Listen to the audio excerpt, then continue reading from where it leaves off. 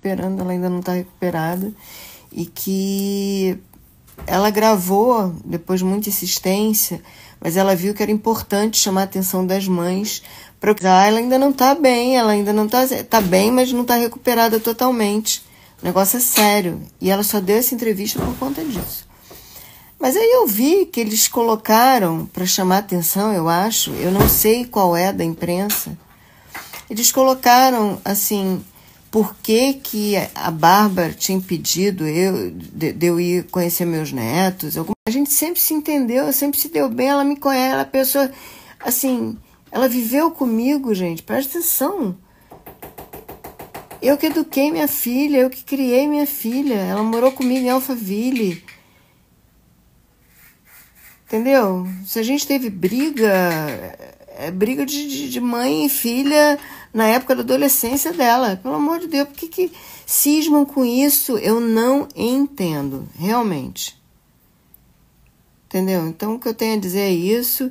E hoje vamos passar matéria. Nem vou assistir. Vou para casa da minha mãe, que hoje eu vou ficar com a minha mãe, que hoje é dia da minha mãe. É, e nem vou fazer questão de assistir essa matéria. E vivem me ligando lá para dar entrevista sobre vários assuntos.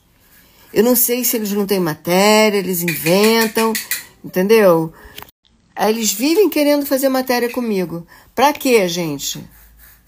Aí vivem inventando umas historinhas pra eu dar entrevista. Como é que é ser vó, como é que é. Entendeu? Da época de uma briga que eu tive também, queriam fazer a matéria da. Olha, da, de, de mim com uma outra pessoa. Gente, não, aí inventa essa história só para colocar meu nome. Qual é o problema? Para que colocar o meu nome nessa parada? E o pior, quando eles estiverem lá, estiveram lá gravando com a Bárbara, eu estava no quarto. Eu estava lá. Se eu quisesse aparecer, gente, eu tinha. Eu estava na sala, eu tinha ficado na sala vendo, assistindo. E aí eu aparecia. Gente, não preciso disso, não tá? E muito feio que fizeram, essa chamada aí ridícula.